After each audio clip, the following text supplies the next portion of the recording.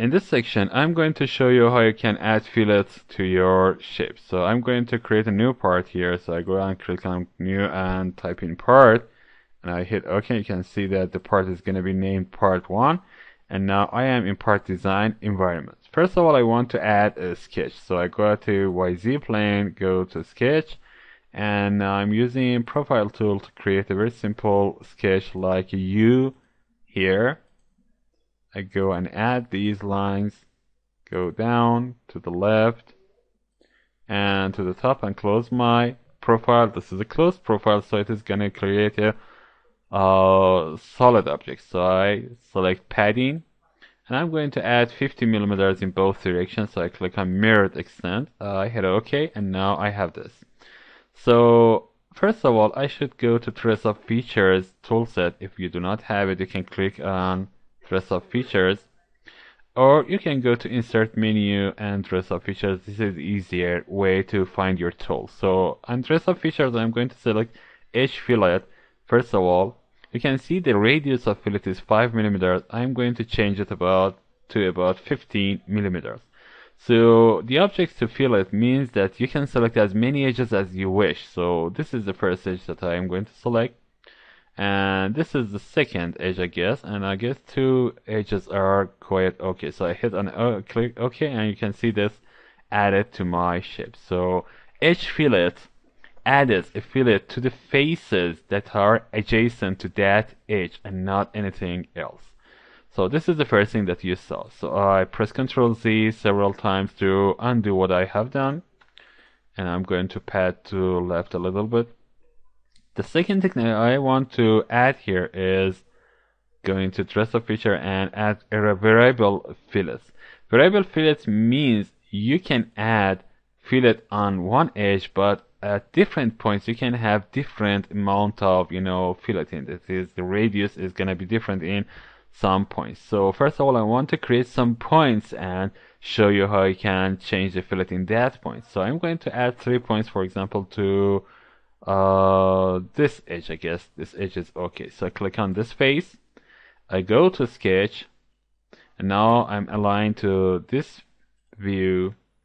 I'm adding some points here. So I go to profile and add some points. For example the first one is going to be here. The second one is going to be here. And third one is going to be here.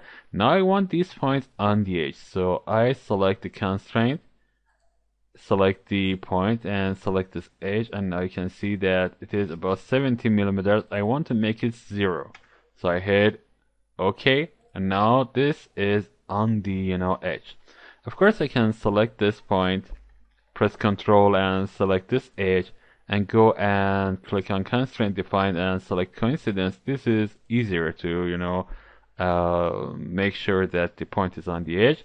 And the third point is gonna be on the edge like this. So I hit the coincidence and now I have three points on the edge.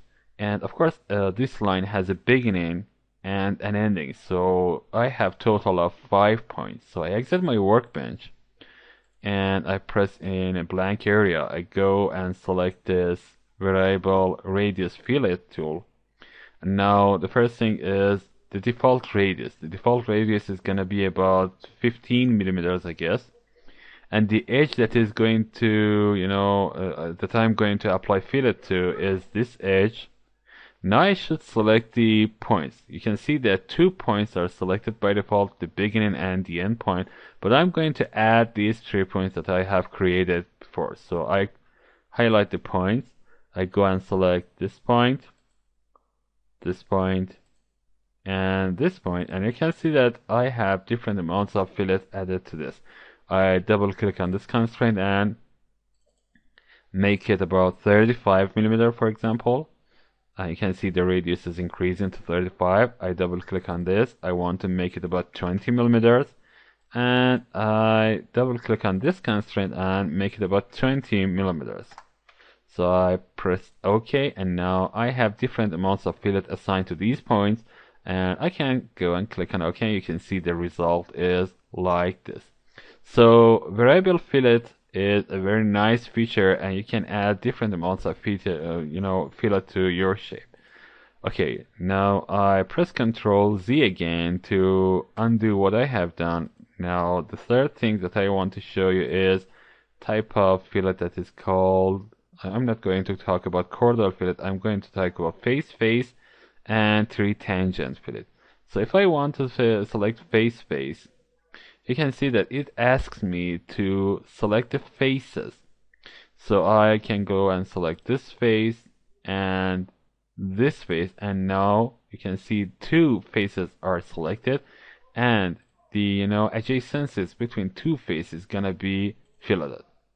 So let's go back to the first fillet that I have created and see the difference between these and the edge fillet. If I press Ctrl Z again to undo this and go and select the edge fillet, you can see that instead of selecting edges, I can select faces. But what happens whenever I select faces?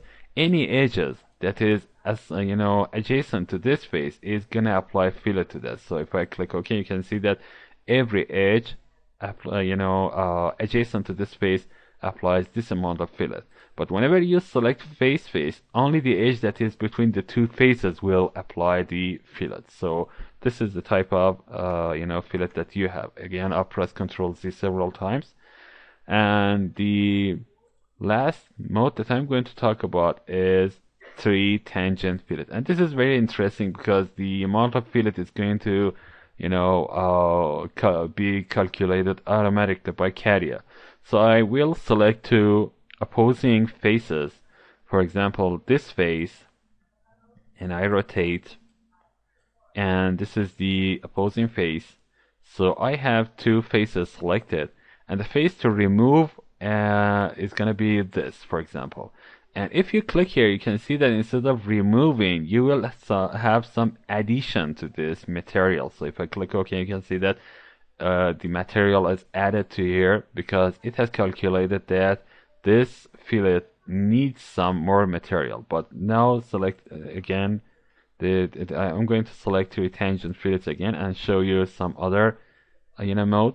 If I select this face, for example, and now I'm select the opposing face that is this and now the face to remove is going to be this face the face between these two you can see that now it should remove some of the face so this is automatically calculated by Catia so this is interesting. I want to have I want to have it one more time. So I go and select this. And this is the first face this is the second face and this is the face to remove. And I hit OK. And you can see the result is very interesting. So these are different types of fillets. And I'm going to talk about chordal fillets in next sections